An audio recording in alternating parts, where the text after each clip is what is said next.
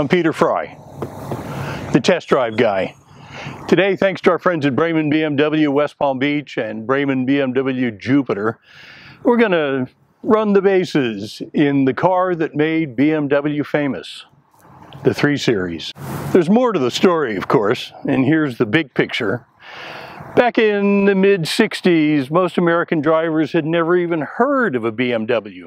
And if they had, they thought it was a motorcycle. Then one particular model came along and changed everything.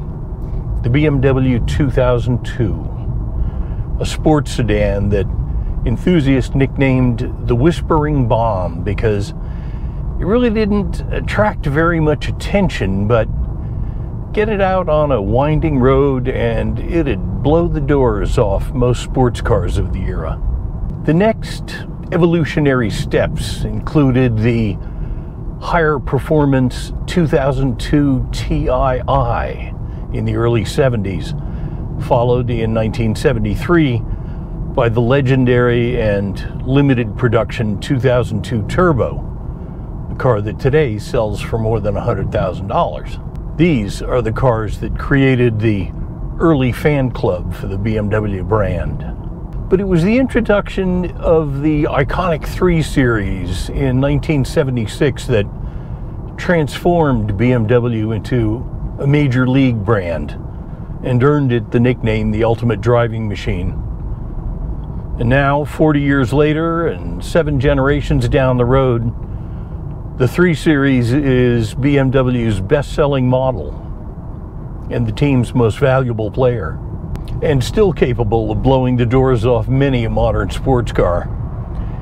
These days, the 3 Series is exclusively a four door sedan, but if you're looking for less doors, or less roof for that matter, the 4 Series, Coupe, and Convertible, they're all playing on the same team. That said, the 3 Series does offer some substantial choices. You can order it with rear or all wheel drive, with standard or electronically adaptive shock absorbers, and with Turbo 4 or Turbo 6 engines, both of which are heavy hitters. So here's the current 3 Series lineup. First up is the 330i, like our test car today. Under the hood is a 2 liter turbo 4 cylinder, puts out 255 horsepower and 0 to 60 times of about 5.5 seconds. Next up is the 330e Hybrid, which has the same gas engine as the 330i, but then it adds an electric motor to bump the horsepower up to 288. And then there's a system called Extra Boost that gives you that extra blast of power and lets you swing for the fences whenever you need to or want to.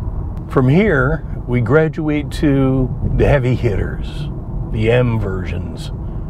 The M340i, for instance, gets its bat speed.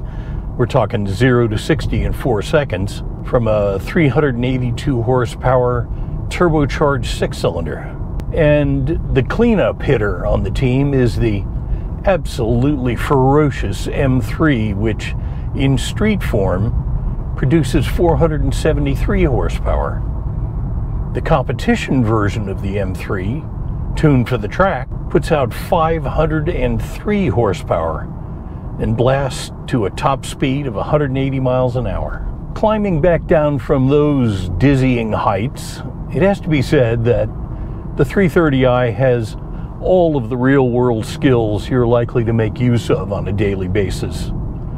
It's smartly styled inside and out, and everything you see or touch is top quality and beautifully put together, which is a good description of its on the road behavior as well.